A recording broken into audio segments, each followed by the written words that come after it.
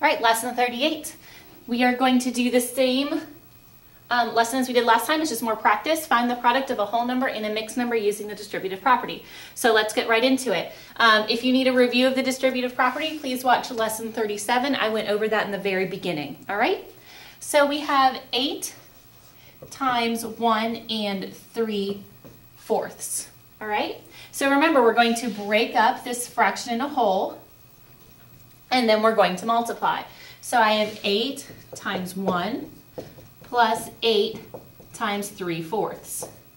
8 times 1 is 8 plus, if I did 3 fourths 8 times, let's see, I would have 3 fourths, 6 fourths, 9 fourths, 12 fourths, 15 fourths, 18 fourths, 21 fourths, 24 fourths. So I had 8 and 24 fourths. Now, last time when we did this, I had you decompose last. This time we're going to decompose first. I know that 24 fourths is equal to 24 fourths, which is the same as saying 6. So I'm going to have 8 plus 6, and that's going to give me 14 as my final answer. So now instead of decomposing last, we're decomposing first and then adding. That's the only difference between the two lessons. Right, let's try another one. 7 times 3 and 4 fifths. Remember the first thing I do is break up the whole in the fraction. So I have 7 times 3 plus 7 times 4 fifths. That's, this is easy peasy. 7 times 3 is 21. 7 times 4 fifths, if I counted by 4 fifths 7 times, I'd have 4 fifths, 8 fifths, 12 fifths, 16 fifths, 20 fifths, 24 fifths, 28 fifths. So plus 28 fifths. I'm going to decompose before I add. 28 fifths is equal to 25 fifths and 3 more fifths. That's the same as saying 5 and 3 fifths. So I have 21 plus 5 and 3 fifths. 21 plus 5 is equal to 26. And then I have 3 more fifths and I'm done.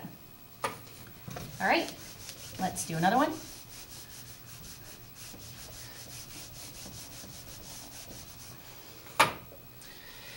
All right, 3 times 8 and 11 twelfths. Remember, break up the whole in the fraction.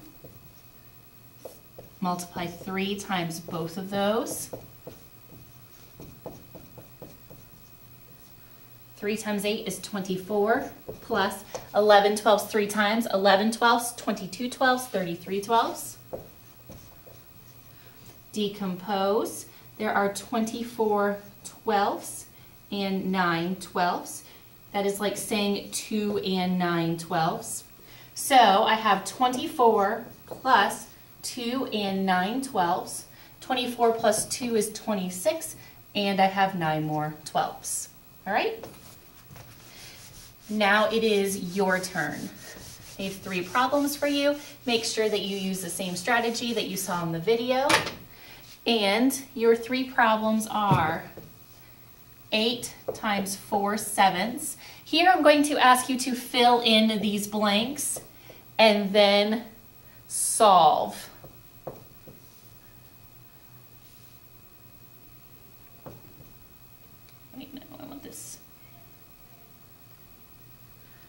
Sorry, 8 times 4 in 4 sevenths. That's going to make so much more sense. 8 times 4 plus,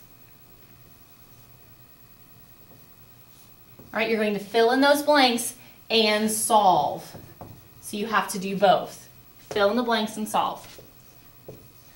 All right, 6 times 8 and 2 sevenths.